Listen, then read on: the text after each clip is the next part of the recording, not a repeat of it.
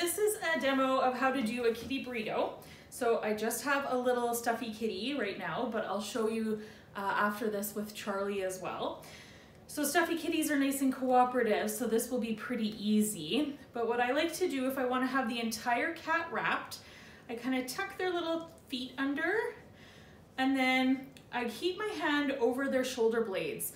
That keeps them in place so that their, their feet stay tucked and they're not trying to get up. Keeping that hand on them at all times is really important when burrito wrapping so that they're not escaping. So I'm keeping my hand there. If I need to, I can even keep two hands and I can scooch up this towel so that it comes up and over those legs and right underneath that, uh, that neck. Then I'll keep the hand on. I personally like to do the one that's closest to me first.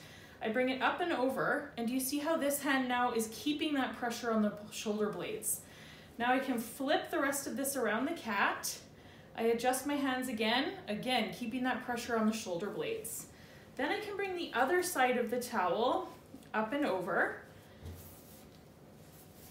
And I'm kind of directing it almost like kind of toward, like towards me and towards the back of the table so that this whole neck area stays nice and snug. I don't want it tight, I'm not choking out the cat or anything, but I don't want it too loose because then they can get these legs up and out, and I don't want that. So I'll keep it pretty snug.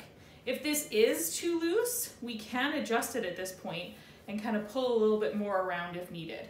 The whole time I'm keeping that hand right over the shoulder blades. That's key so that they're not getting up and escaping.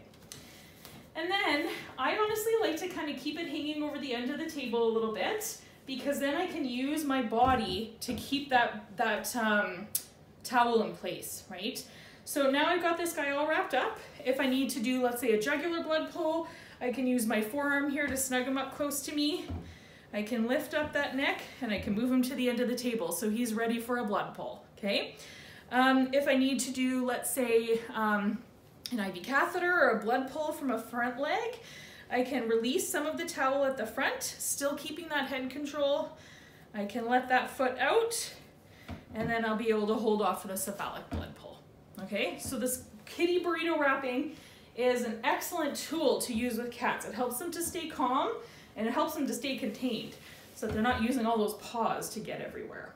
Okay, so to refresh, we'll go over it one more time. I'm going to keep my hands on the, on the cat's shoulder blades. That's like that's kind of like their leverage point. It keeps them nice and snug down, right? If needed, I could do a little bit of a scruff to help the cat to relax a little bit. Um, that's kind of plus or minus, depends on the cat though. I can tuck those little feet in and then I'm going to bring up the, the towel, snug it around their neck. This whole time I'm keeping pressure over the shoulder blades. Bring this up and over, keep that pressure, Bring this side up and over, keeping that pressure the whole time. And then I'm ready to go and do my blood pull. And that's how you do a kitty burrito wrap with a stuffy. Next I'll get Charlie and uh, I'll show you how to do it with a non-cooperative animal.